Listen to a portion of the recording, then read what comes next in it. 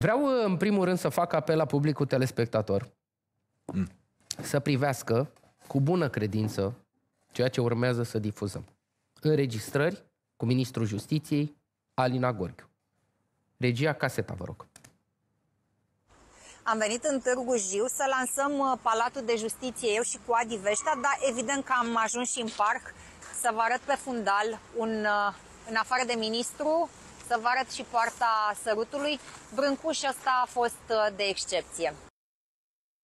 E dat drept cu Brâncuș.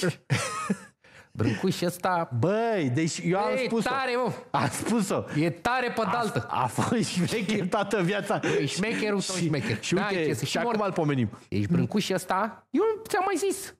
Tu Dar ziceai, vezi că și Grigorescu ăla tare pe pensulă. E?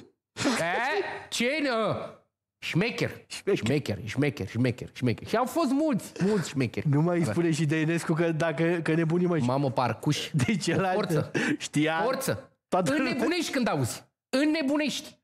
Deci am venit aici să inaugurăm Palatul de Justiție cu fratele meu Veștea, asta aici cu Veștea, Veștea. a Adi făcut- Veștea. Adi Veștea, Adi Veștea pentru toată lumea, vă pup. Vă Vezi pup. că, vezi că acum îl reinterpretez pe Pa, domnul Adi Veștea. Veștea? Îl reinterpretez pentru că văzându-l zâmbind așa, nu mai pa- pare, nu mai pare ce era Râde acolo. nu mai, îi scade mult în Nu are de prestanță. ce să râdă. Pare Deci- aproape muritor. Deci nu-l ajută faptul. N-are. Uite, când râde așa pare Erau șoferul la doamnei poarta Gorghiu. sărutului. Pare... Erau la poarta sărutului. Unde s-au dus ei la poarta? Hai, Adi, ven- mergem la poarta sărutului. Să filmăm pentru Brâncuce ăsta. Mai dați o dată pe aia cu Brâncuști. Tu Că de ce multă să mai lume nu știe că Brâncuși ăsta chiar a fost șmecher. Și știa, nu. Omul meseriaș. Talent. Multă lume a zis. Bă, Brâncuși ăsta. Cu toate defectele lui, că vorbea urât de români, că... Băi, totuși, excepție. Talent, fenomen. Haideți mai dați o dată înregistrarea cu Brâncuși ăsta. Am venit în Târgu Jiu să lansăm uh, Palatul de Justiție eu și cu Adi Veștea, dar evident că am ajuns și în parc să vă arăt pe fundal, un, uh, în afară de ministru, să vă arăt și poarta sărutului. Brâncuș ăsta a fost uh, de excepție. Domne, meserie mare de tot, dar mi-a plăcut și felul în care s-a înșirat toată situația. Că inițial l-a arătat pe domnul Veștea, deci am venit aici să vi-l arăt pe Adi Veștea, că apoi și-a dat seama, domne, nu e puțin lucru și faptul că l-arăt pe Adi Veștea. Dar Da, n-avea, și- n-avea da, o și Brâncuș. postare, n-avea o postare cu niște flori care erau belea sau nu știu cum. Doamna Gorghiu.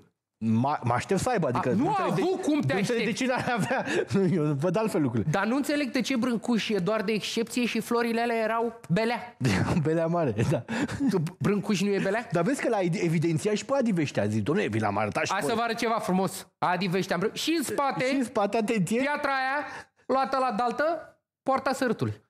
Nu știați, prăduitorilor. Deci este personaj. Doamna Da, Alina e Gorghiu spectacol. este un personaj Am pe care, redescoperit-o, da. nu știu, nu știu Bendeac unde mai activează în momentul de față, dar este din zona Robi Roberto, doamna Alina Gorghiu și mai era un personaj tot așa, un, un, nu mai țin minte cum îl chemă, tot așa, cu ce faceți prăduitorii. Deci o văd pe Alina Gorghiu mergând pe ce faceți prăduitorii, tot săraci, tot săraci, eu ce să fac? Da, aici, la Ministerul Justiției, împar dreptate.